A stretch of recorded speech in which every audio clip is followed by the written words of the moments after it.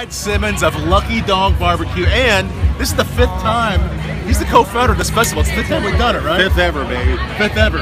It doesn't feel like that long ago, but it's grown and grown and grown, right? It has grown, yeah.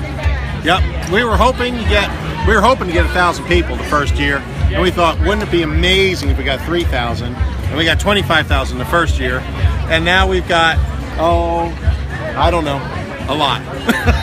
so we're It's probably up knocking on forty thousand for the whole three days. The fifth ever Kentucky Barbecue State. Festival. Yep, state. Kentucky State Barbecue Festival It's the in the only state of. Kentucky. Yeah. And, and barbecue puts you in a state of well-being and, and bliss, right? Yeah, absolutely. Just It's- like Kentucky. It's folk food, you know. It's just Folk chill. It's you know, the smoke comes out and like the bees, calms everybody down.